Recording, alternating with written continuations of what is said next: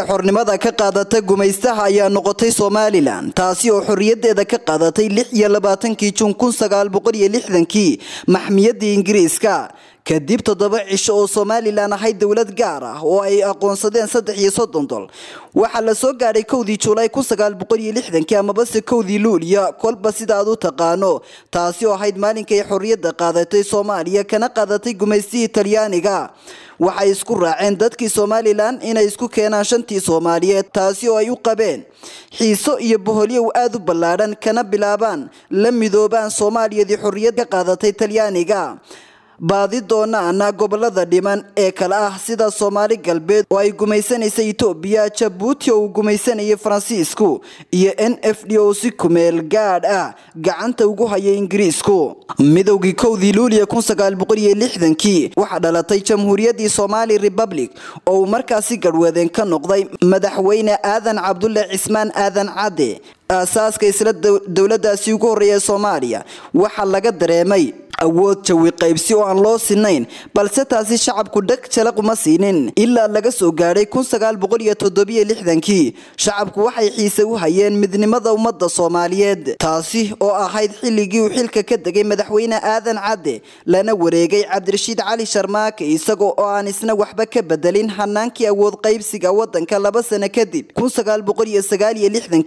Waxaa lagu dilay gobolka sool ee magaalada laascaanood maalmo kadib waxaay awoodda dalku gacanta u gashay qaybo ka mid a ciidamada xoogga dalka oo uu hogaaminayay rajiimkii siyaad barre. Waxaa kor u kacay shakiga ay qabeen dadweynaha reer somalilan iyagooo rajiimkii xilka la wareegay uu xilalka ugu sarreeya ku taxay koonfur. Waxay bilowday dowladii rajiimka siyaad barre. Markii xilka uu la wareegayba tacadiyo loo geysanaya dadweynaha reer somalilan kuwaasi oo ay fulinayaan saraakiisha ciidamada siyaad barre. Muddo badan oo tacadiyadaasi ay ku dhacayeen dadweynaha reer somalilan waxaa la soo gaadhay siddeetankii waxaana bilaabmay in dadweynaha reer somalilan ganacsato. Ciidan culimo iyo haldoorkii reer somalilan oo dhan ay dhammaantood isku wada raaceen sidii wadanka looga xorayn lahaa rajiimkii maxamed siyaad barre taasi oo si toosa ay u bilaabeen halgan hubaysan dagaalo fara badan oo si goos-goos ah ayaa u dhex maray ciidamadii s n m iyo kuwii rajiimka siyaad barre. Waxaa la soo gaadhay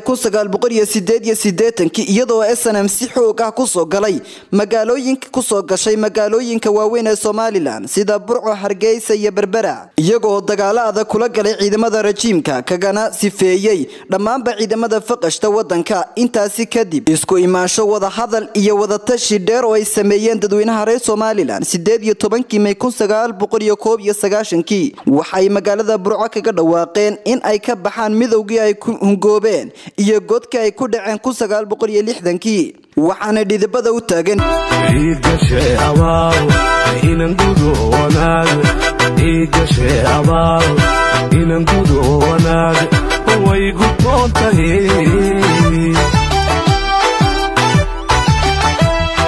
waxaana dhidibada u taagan jamhuuriyadda barakaysan ee somalilan ee maanta aynu wada naqaano iyaga oo samaystay calan gaar ah oo ka kooban saddex midab oo kale ah qaybta sare oo ah akhtar amabase midabka cagaarka oo tawxiidku ku xardhan yahay qaybta dhexe oo cadaan dhexda ku leh xidig shan geesa oo madow iyo qaybta hoose oo casaan midabka kala duwan ee calankani ayaa ka turjumaya astaamaha dowladnimada.